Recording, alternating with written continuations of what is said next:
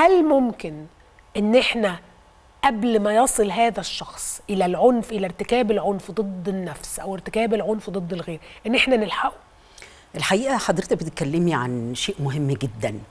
عشان كده الدعم الاجتماعي مهم جدا. وبالتالي البداية هنا هتبقى في الأسرة واحتوائها لأولادها ومدى علاقتها الإيجابية مع أفرادها على كل المستويات. ده أكيد حامي كتير من العنف. آه ويحمي كتير أيضا من آه آه، لجوء ال- الشاب أو خصوصا وهي النسبة الغالبة تقريبا اللي هي عندها مواطن خطورة.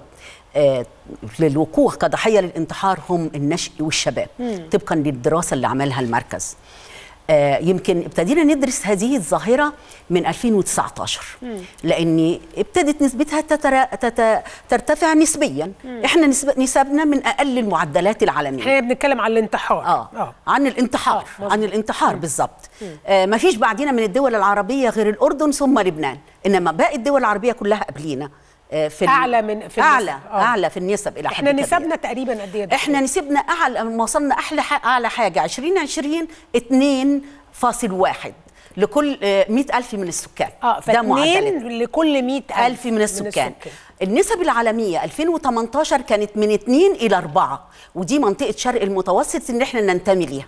دي أقل المعدلات العالمية وتقع فيها كل الدول العربية. قلتي لي إن المعدل ربما زاد. المعدل اختلف. 2019 أعلنت منظمة الصحة العالمية إن الع- الحد الأدنى هيبقى ستة وليس اثنين بدليل إن الظاهرة بتن... بترتفع في العالم على الرغم إنها آه نزل من 10.5% إلى 9% على مستوى العالم نسبة على مستوى العالم. لكن في مصر 100,000. بقى في مصر قلتي لي النسبة زادت شوية. من كام لكام؟ آه يعني من من من و- من كنا 2000 و- 2018 إلى آه واحد آه، إلى إن إحنا اثنين وصلنا لاثنين آه في ثلاث سنوات. اتنين ده تزايد 100,000. نسبي آه. لإني إحنا عندنا ما كانش عندنا الانتحار بدليل إن إحنا الدولة العربية الوحيدة التي ليس لديها إطار تشريعي لمواجهه لمواجهة الانتحار. وخصوصا الترويج للأفكار الانتح- الانتحارية. بعض الأفراد لديهم ميول انتحاريه بعض الأفراد. إطار التشريع دي آه. نقطة مهمة عايزين الاداره. التش... ما عندناش إطار تشريعي. كل الدول العربية عندها إطار تشريعي. وسبقتنا في كده.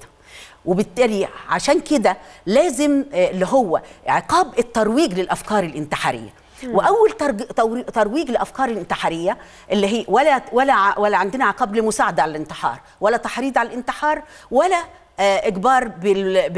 بالخضوع لتأهيل نفسي لمن يقدم على الانتحار الحقيقة محتاجين منظومة تشريعية في هذا.